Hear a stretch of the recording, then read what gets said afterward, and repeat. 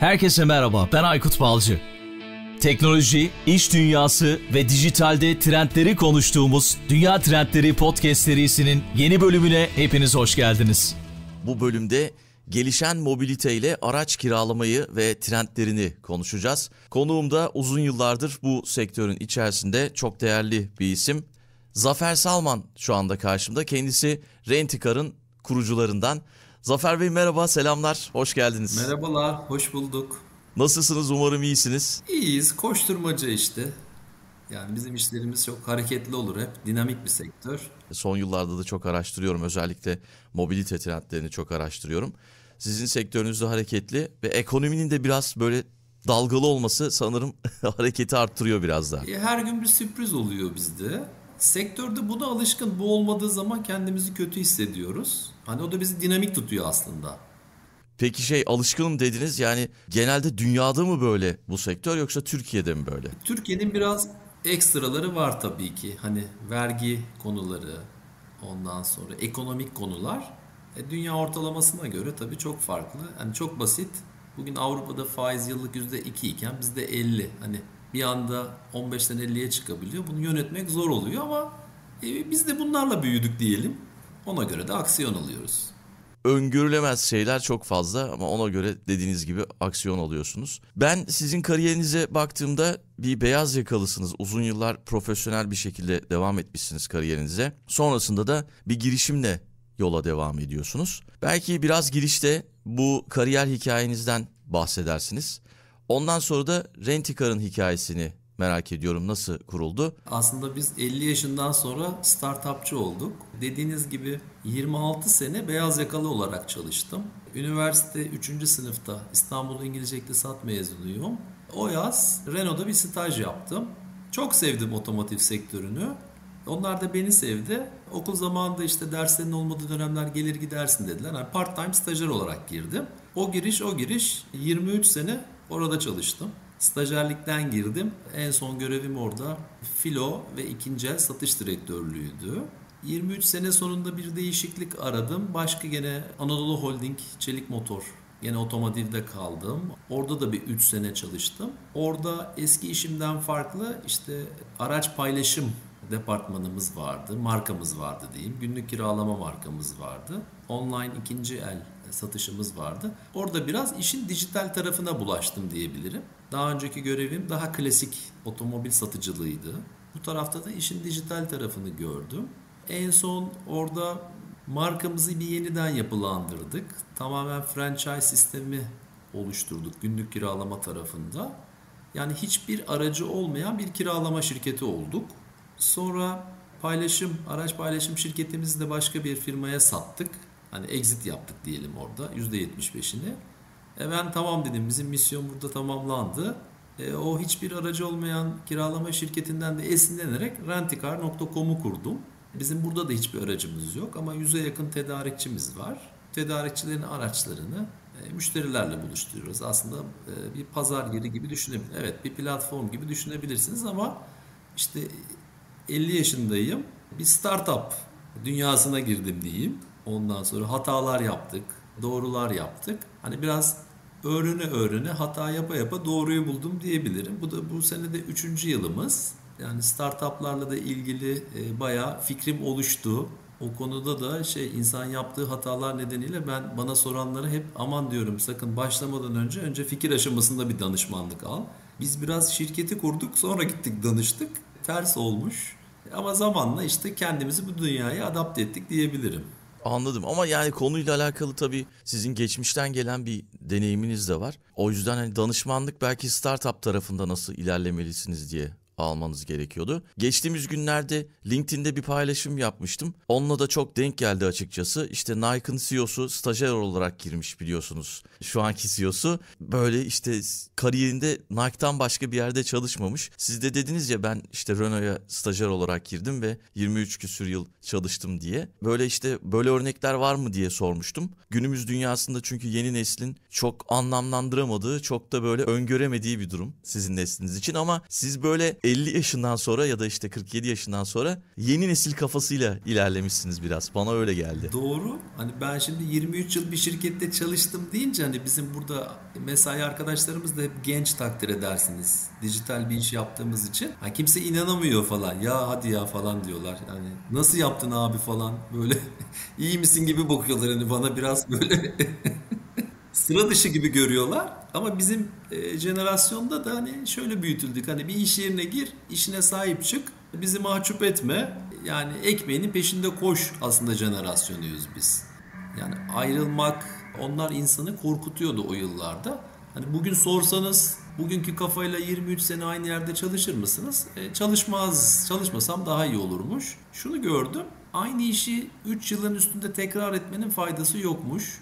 Şirket içerisinde farklı bir görev de olabilir, farklı bir şirket de olabilir. Bu insanı daha fazla güçlendiriyor, daha çok öğreniyorsunuz ve e, sonraki konuları daha kolay yönetiyorsunuz. O yüzden ben de aslında şimdiki kafayla keşke o kadar uzun çalışmasaydım diyorum bazen. Ama işte dediğiniz çok doğru yani orada farklı departmanlarda çalışmak, belki farklı ülkelere gitmek. Onlar işte başka başka e, yetkinlikler kazandırıyor. Ama bir, bir bakıma da işte sabırlı olmayı öğretiyor ki şeyde startup camiasında çok önemli. O mesela o sizde vardır diye, o kaslarınız güçlüdür diye düşünüyorum. Çok sabırlıyım gerçekten. Uzun yıllar aynı yerde çalışınca bir de şey oluyorsunuz nasıl diyeyim orada bir konfor alanı oluşuyor. Onun bir rahatlığı oluyor. Hani oradan çıkarken insan korkuyor ama yani çok şey de öğrendik oralarda. Baktığınızda bütün bugünkü tecrübemizi aslında o zamanlardan gelen bilgilerle oluşturduk. Ee, işte büyüklerimizden öğrendik. Onlar bize el verdi. Şeyde çok haklısınız ama aynı şirket içi rotasyon çok önemliymiş. Hani mesela ben son görevimi 10 yıl aynı işi yapmıştım. 5 yılda gidip bir finansta çalışsaymışım keşke gibi düşünüyorum. O yüzden büyük şirketler keşke uzun yıllar çalışan personellerini böyle rotasyonla en azından hem insanları motive eder hem onları daha iyi donatırsınız hem de şirketlere daha çok faydanız olur. E, şimdi mesela onu düşünüyorum hep. Sordukları zaman onu tavsiye ediyorum. O arkadaşlarım, hala arkadaşlarım orada çalışıyor. Ben diyorum farklı bir göreve geç diyorum. Hani bir şey daha öğren. Doğru. Doğru çok haklısınız. Ya günümüz dünyasında zaten sadece bir şeyi bilmek yetmiyor artık. Birden fazla şey bilmek gerekiyor. İşte yapay zekanın geldiği bir dünyada belki iş dünyası özellikle beyaz yaka çalışanlar bu alanda kendilerini geliştirmeleri gerekiyor. Tabii siz bir startup olarak başladığınızı söylediniz. Rentikar şu anda araç kiralama sektöründe ve yani Türkiye'de var mı örneği bu modelde işleyen? Onu da merak ettim açıkçası. Yani hiç bir aracınız yok ama bir platform gibi. Evet, bizden önce bir tane çok büyük bir firma vardı zaten. Pazar çok büyük Türkiye'de otomotiv pazarı. İzliyorsanız yılda artık 1 milyon üstü otomobil rahat satılıyor. Ve bu işte sektörde de farklı dinamikler devreye girdi. İşte çok konuşuluyor elektrikli araçlar, otonom araçlar, yapay zeka, sürücüsüz otomobiller, ondan sonra paylaşım sistemleri, car sharing dediğimiz uygulamalar Bunlarla beraber aslında sektörde bir değişim var. Yalnızca kiralama sektörü değil, e, tüm sektörde. E bizim sektörde de bizden önce bu işi yapanlar vardı. Son 2020'lerden sonra belki 100 yıllık tarihinde olmayan değişikliklere rastlıyoruz. İşte bir elektrikli araç diye bir konu geldi. Yani çok konuşuluyor hani. Burada da dünyada da biliyorsunuz. İşte Çinlilerin atakları, Amerikalıların işte Tesla'sı, biraz Avrupa'yı sıkıştırıyor. Hani sektör ne bileyim biz uzun yıllar çok rahattık. Dizel, benzinli araç satardık. Tehdit yok, bir şey yok. Kendi kendini satıyordu zaten. Ondan sonra bu yeni dünya pek çok şeyi hani değiştiriyor gibi duruyor. Hani buraya adapte olmak için de ben açıkçası klasik ticaret yerine dijital bir iş yapmayı tercih ettim. Yani dijital dünyaya girmek istedim. Çünkü geleceğin de burada olduğunu düşünüyorum. Bu nasıl dönüştürdü peki? Yani dijitalleşme, işte teknolojik gelişmeler araç kiralama sektörünü nasıl dönüştürdü? Şimdi baktığınız zaman artık hepimiz online aracı kiralıyoruz. Yani bir uygulamaya giriyorsunuz ya da webten giriyorsunuz. Hemen hemen her şey öyle Her şey artık. öyle oldu. E gittiğinizde yani eskiden böyle çarşaf çarşaf sözleşmeler imzalatılırdı. Hani şimdi önden bilgileriniz olduğu için bazı firmalarda o ana bankoyu pas geçip direkt otoparka inip oradan bir tablete imza atarak otomobili alabiliyorsunuz. Ya da kredi kartı bilgileri bile artık saklanıyor. Yani nakit para verilirdi bankolarda falan. Onlar tamamen bitti. İş aslında uçta onuca dijitalleşti. E, günlük kiralamanın bir de dakikalık kiralaması var car sharing modeliyle. Orası zaten bambaşka bir dünya. Orada bir banko da yok. Araçlar sokaklarda. Telefonunuzdan aracı kiralayıp aracın başına gidip telefonla kapıları açıp kiralayıp gezip bırakıp e, kiralamayı sonlandır dediğinizde işte ilgili tutar kredi kartınızdan çekiliyor. Yani aslında özellikle yeni nesil daha az prosedürlü, daha hızlı ve tek başına bu işi yapabildiği için kimseyi aramadan bir çağrı merkezini bir de pek konuşmak da istemiyor yeni nesil hani uygulamadan Doğru. işini halletmek istiyor. Buna adapte olmaya başladık. Yani bu model çok fazla yaygın mı Türkiye'de biliniyor mu? Sadece yeni nesil tarafından benimsenmiş durumda şu anda. Aslında öyle mi gözlemliyorsunuz? Türkiye'de İstanbul yoğun gidiyor. Dakikalık araç kiralamaya da araç paylaşımı dediğimizde. Tabii araç diyorum ama bunun skuturu var, bisikleti var, hani türevleri de var. Onlar da çalışıyor. Araç tarafına bakarsak İstanbul ağırlıklı. Onun sebebi de İstanbul o kadar büyük ki burası şu anda hepsine yetiyor ve daha gidilecek çok yol var. Hani biz analiz yaptığımızda 50 bin paylaşım aracını kaldırır diyorduk İstanbul. Bir de yoğun trafikli illerde bu araç paylaşım işi daha makul ve mantıklı. İşte Moskova gibi, İstanbul gibi metropol olduğunda hani otomobili almak, gitmek, park etmek bir dert olduğu için şuradan dur 2 dakika bir araç kiralayayım onunla gideceğim yere gideyim ya da 3-4 kişi birleşip de gidebiliyor gençler özellikle maliyeti düşürmek anlamında. O yüzden şimdilik İstanbul'da bu konuda da bir 10 bine yakın araç çalışıyor. 3 farklı marka var. İkisi büyük, birisi küçük. E, bu da fena değil aslında. Avrupa şehirlerine baktığımızda fena olmayan bir rakam.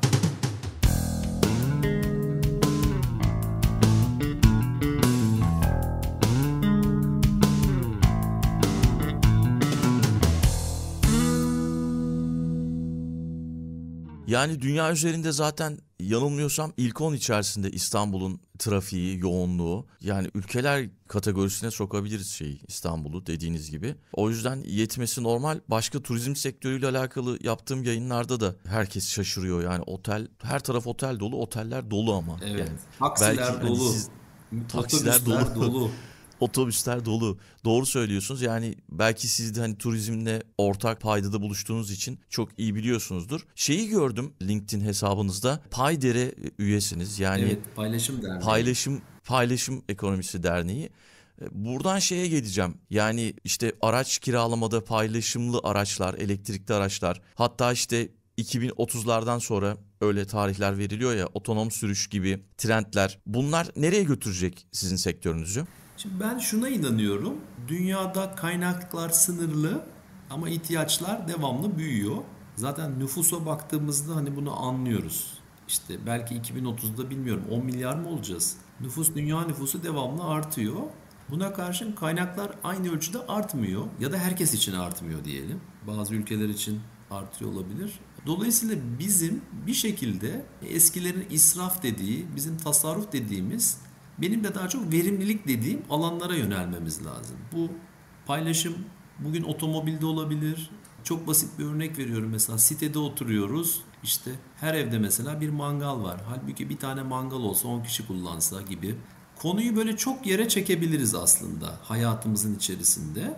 Ama tabii bizim uzmanlığımız otomobil olduğu için biz paylaşımlı araçları çalıştırdığımız zaman bir aracın günde 8-10 kez kullanıldığına dahi şahit olduk. Yani 10 farklı kişi aynı aracı aynı gün kullanıyor. E şimdi bunu 10 farklı kişi 10 araç kullandığı zamanki etkiye baktığınızda inanılmaz bir tasarruf. Dünya otomobil satışlarını bile azaltabilir bu işler ileride. Zaten gençler biliyorsunuz öz mal ya da sahiplik kavramından uzaklar. İhtiyacım olduğu zaman kullanayım bırakayım. Evde de bu böyle, otomobilde de böyle bu derneğin birinci amacı aslında bizim kaynaklarımızı etkin kullanmaktan çıktı. Orada da biz tabii otomobil tarafına bakıyoruz. Üyelerimiz içerisinde de paylaşım işi yapan üyelerimiz de var orada.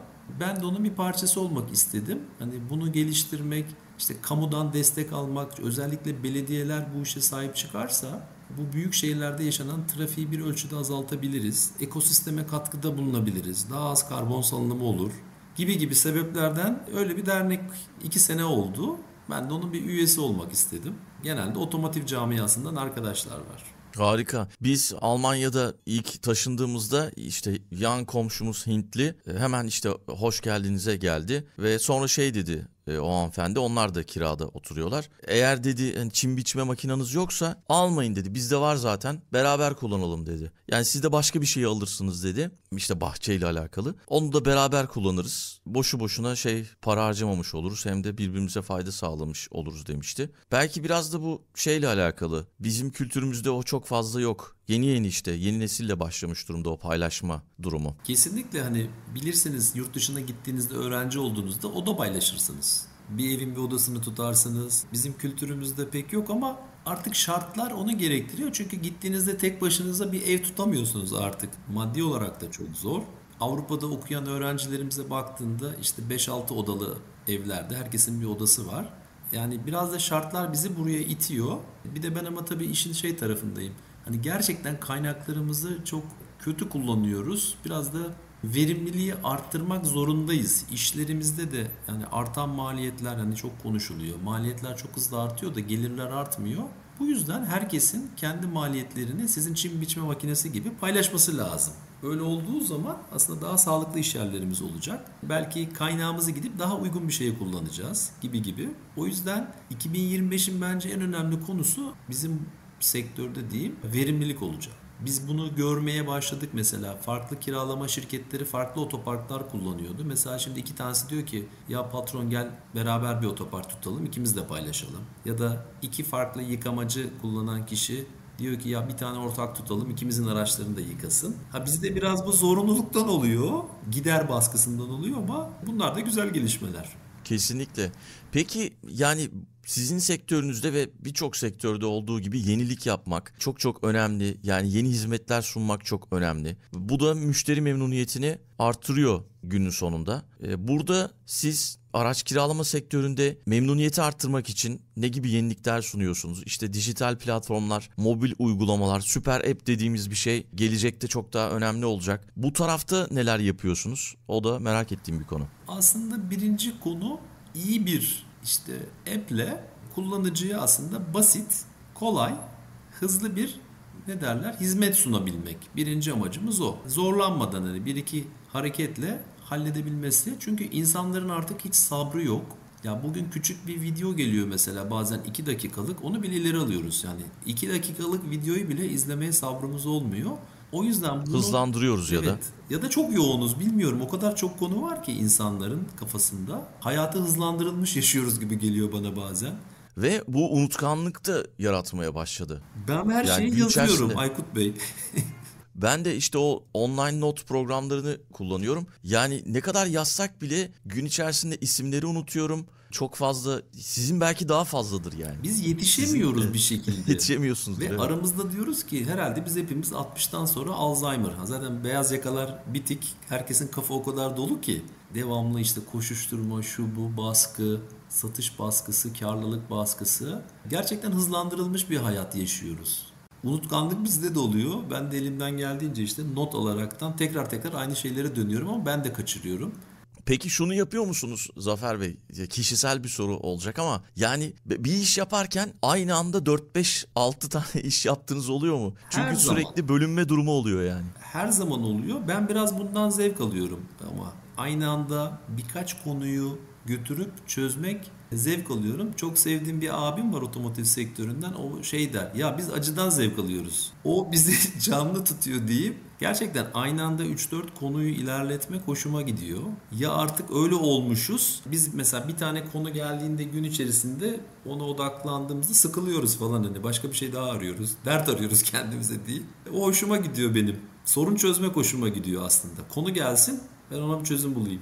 Anladım. Yani o zaten şey tutuyor, enerjik tutuyor sizi. Sağda kalmanızı sağlıyor. Peki yani bu süper app'ler konusundan ne düşünüyorsunuz? Ee, beklediğimden yavaş gidiyor aslında. Daha hızlı bekliyordum. Aynı bu şey gibi. Biz 2015'lerde derlerdi ki 2020'ye geldiğinde işte araçların yarısı elektrikli olacak, şöyle olacak, böyle olacak. 2020'ye geldik. Hatta 25'e geldik. İşte Türkiye'de satılan araçların %7'si elektrikli.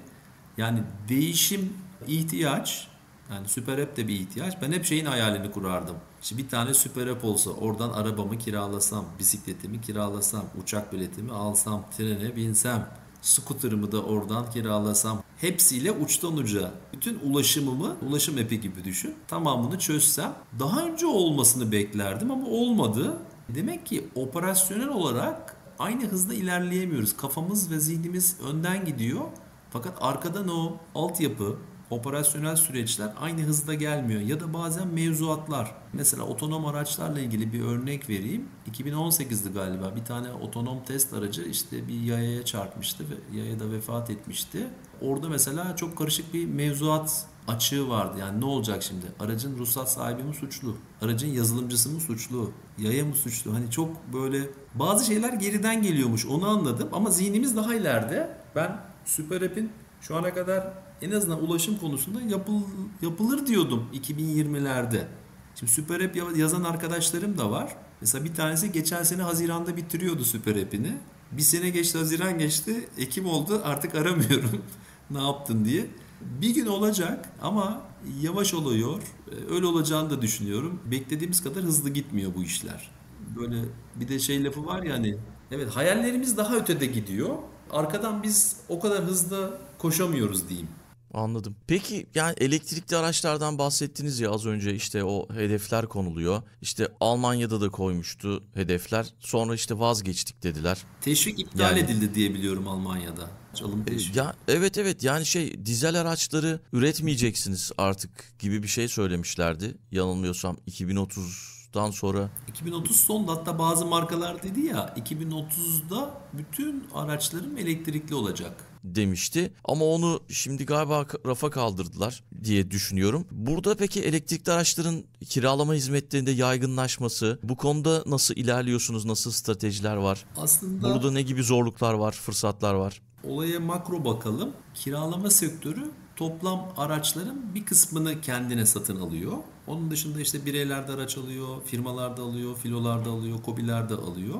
Onların içerisinde elektrikli araçla hayata devam edebilmek e, bazı sektörlerde zor oluyor. Şimdi bireysel olarak siz işte uygun bir evde oturuyorsanız ve iş yerinizde de gidip geliyorsanız sadece hani sokakta satış için gezmiyorsanız elektrikli araç çok mantıklı. Hani belli bir maliyet avantajı da sağlıyor. Kendi evinizde şarj ediyorsunuz gibi düşündüğümüzde. E, şimdi filolara geldiğimizde ben elektrikli aracı satmaya e, çok uğraşan biriyim e, Renault'da çalışırken ilk elektrikli çıktığında yani böyle 400-500 müşteri gezmişimdir satayım diye. O dünyaya geçtiğinizde ya da günlük kiralama dünyasına geçtiğinizde meraktan ya da biraz çevreyi desteklemek için hani aracı alayım ya da kiralayayım dediğimiz kesim %1'i geçmiyor. Herkes günün sonunda alıyor eline bir Excel, sol tarafa yazıyor aracım dizel olursa 3 yıl nek çıkar cebimden, sağa diyor ki ben diyor elektrikli alırsam ne çıkar cebimden yakıt dahil bir hesap yapıyor. Bu hesap elektriklinin lehine değilse açıkçası kimsenin çevre umurunda değil. Bugün Avrupa'da biliyorsunuz bağırıyordu. İşte çevre işte şu emisyonları 95 gramın altına getireceğiz şöyle yapacağız böyle yapacağız. Bir baktılar ki Çinliler sağdan çok kuvvetli geliyor soldan Tesla geliyor.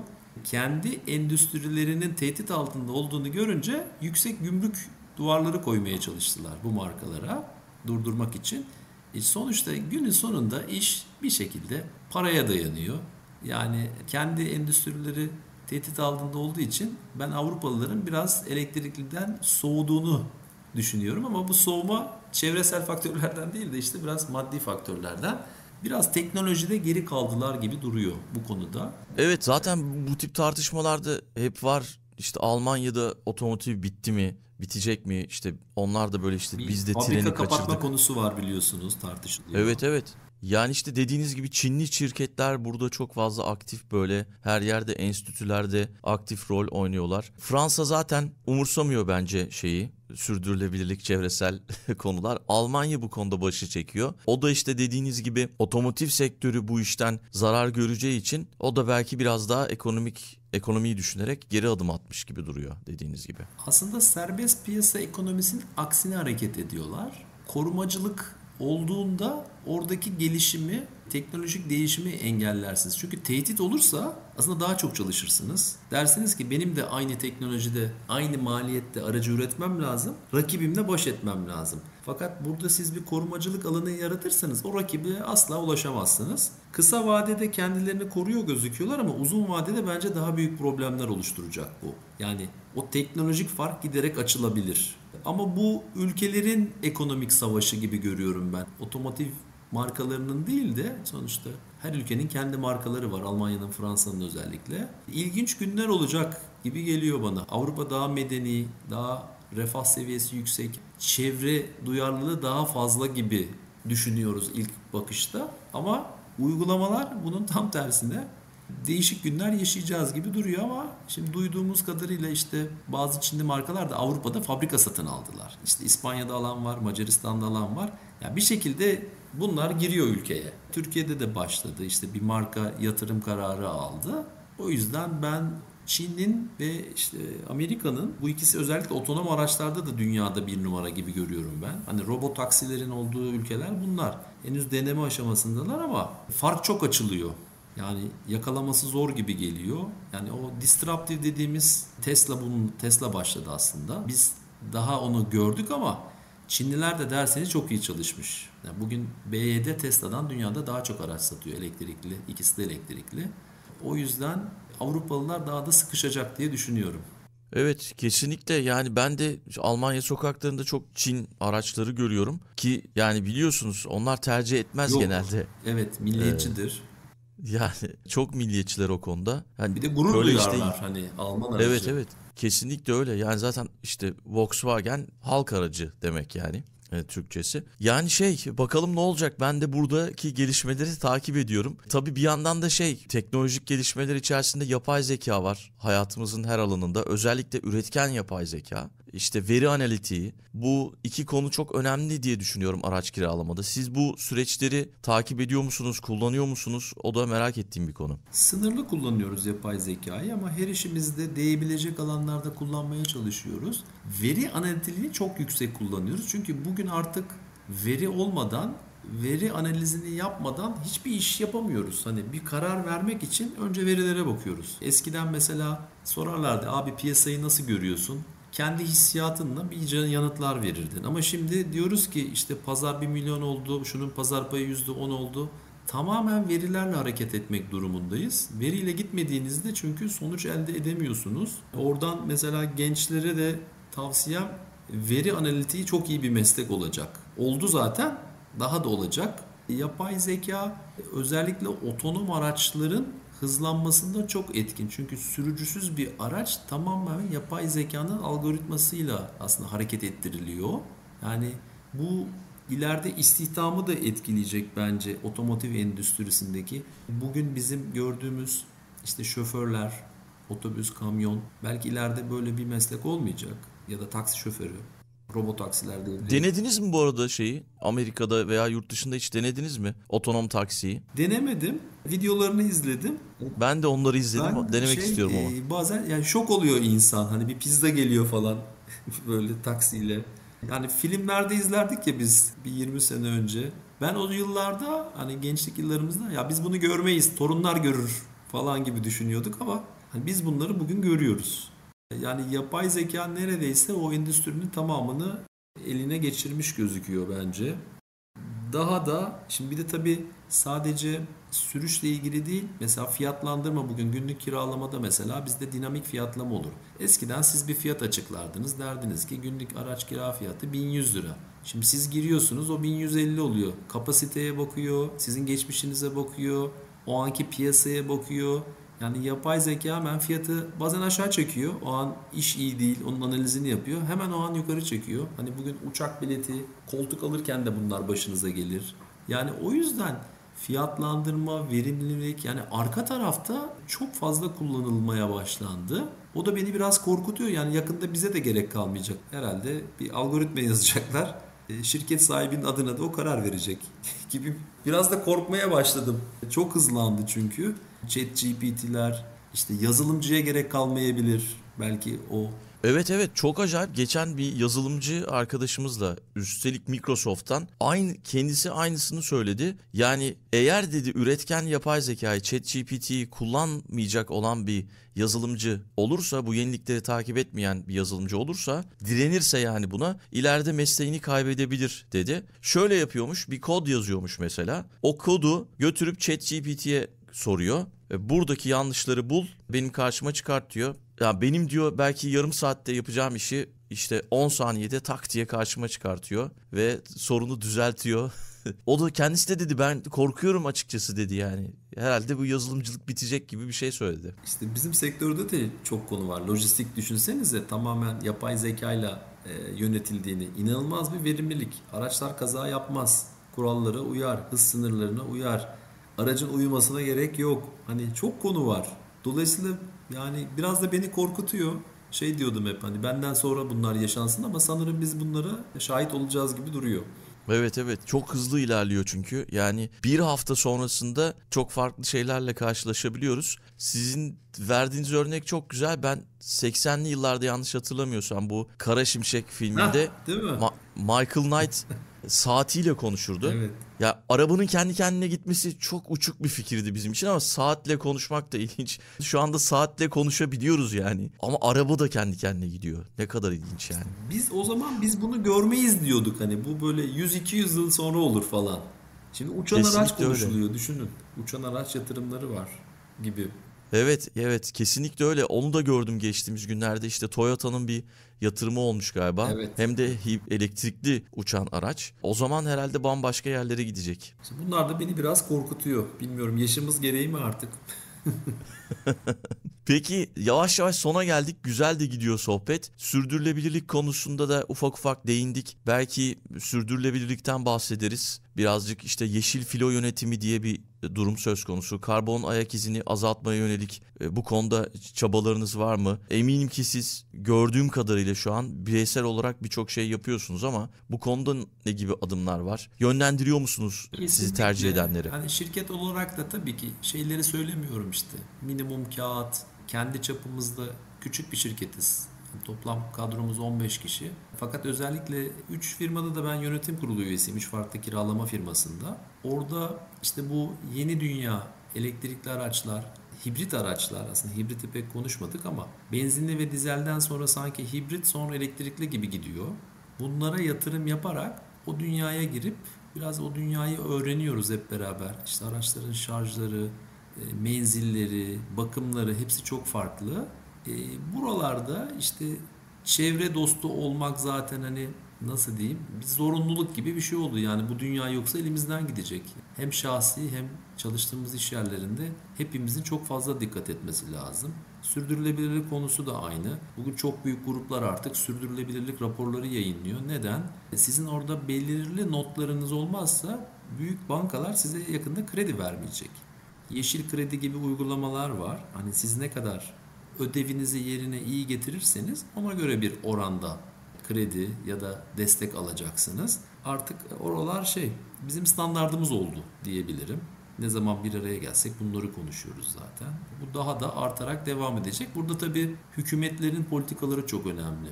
Özellikle finansal açıdan yeşil kredi ya da yeşil enerji yatırımı yapan ne bileyim işte bizim otomobil servisleri var mesela işte atık suların tekrardan kazanılması, atık yağların tekrardan sisteme döndürülmesi, parçaların tekrardan recycle yapılması gibi aslında sektörde çok konu var. Mevzuatlar da bunu destekliyor. Dolayısıyla bu artık şey standart bir şekilde her gün konuştuğumuz, yaptığımız bir şey oldu diyebilirim.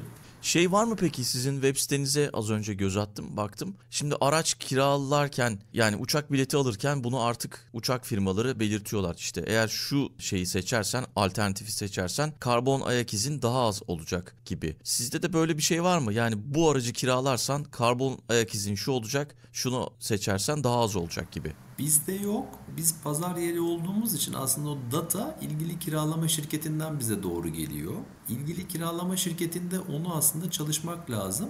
Bugün bazı kiralama şirketleri elektrikli araçlarla ilgili kendi markalarını kurdular. Diyelim ki kendi markada A gitti B'yi kurdu. Henüz herkes test ediyor diyebilirim. Çünkü elektrikli aracın operasyonu da kolay bir şey değil. Şarjı farklı, menzili farklı, Kullanımı ile ilgili özel bilgi vermeniz lazım. Normal bir araç gibi kullanmamak lazım. Hani biz zen diyoruz daha yumuşak, daha böyle sert fren, sert gaz. Biliyorsunuz gazdan çektim kendi duruyor gibi gibi. Henüz sektör oralarda öğrenme aşamasında. Ama bu dediğiniz muhakkak olacaktır. E, sektörde araç Zaten bu anlamda startuplar çıktı biliyorsunuz karbon ayak izini ha. hesaplayan. Evet. Dolayısıyla onlar birlikte ortak çalışıp belki böyle bir şey çıkabilir ortaya. Çok doğru diyorsunuz. Güzel bir tespit. Biz de değerlendirelim sizden de. Biz bir şey kapmış olduk. Süper. Konuşurken güzel şeyler çıkıyor. Ben de sizden çok şey öğrendim. Güzel bir bölüm oldu Zafer Bey. Bu bölümde konuğum olduğunuz için çok teşekkür ederim. Yine merak ettiğim bir konuydu araç kiralama sektörü. Ve belki kapatırken her konuğum bir kitap önerisinde bulunuyor. Son dönemde okuduğunuz bir şeyler var mı merak o ediyorum. O zaman ben de bizim sohbetimizle ilgili gerçi İngilizce bir kitap önereceğim. The Sharing Economy. Bunun yazarı New York Üniversitesi'nde bir profesör, Hint asıllı Arun Sunda Rarajan Sharing ekonomiyle ilgili maalesef çok az kaynak var. Hani ben çok araştırdım. Kitap bulmak da çok zor. İlgimi çekmişti. Hem araç paylaşımı ile ilgili bölümler var hem de işte oteldir, diğer scooter'dır hani hemen hemen her alanda çalışmış yazarımız diyeyim. Bunu tavsiye ediyorum. Merak edenler için özellikle çünkü çok kaynak bulunmuyor. Ben çok araştırdım bir tek bunu bulabildim. Siz de bir şey bulursanız bana önerin lütfen. Bunu tavsiye ederim. Olur tamam bunu ben linkini bulup podcast'ın açıklama kısmına koyacağım. Tamam. O zaman çok sağ olun. Tekrar buluşmak üzere. Tekrar teşekkür ediyorum. Çok teşekkürler. Ediyorum. Çok güzel bir sohbet oldu. Ağzınıza sağlık. Kapatmadan önce Patreon destekçilerimize de teşekkür edelim. Akın Arslan, Ahmet Uçar, Serdar Sungur, Recep Topçu ve Nilay Atalay'a sonsuz teşekkürler. Eğer siz de Patreon üzerinden destek olmak isterseniz podcast'in açıklama kısmında Patreon'a ait bağlantıyı bulma şansını yakalayabilirsiniz. Şimdiden teşekkürler. Dünya Trendleri Podcast serisinin bu bölümünün sonuna geldik. www.dünyatrendleri.com Twitter'da et Instagram'da dünya.trendleri adreslerinden Dünya Trendleri Podcast'i takip edebilirsiniz. Unutmayın önerileriniz ve merak ettikleriniz içinse info info.dünyatrendleri.gmail.com adresinden mail atabilirsiniz. Bu bölümü dinlediğiniz için çok teşekkürler. Yeni bölümde tekrar buluşmak üzere.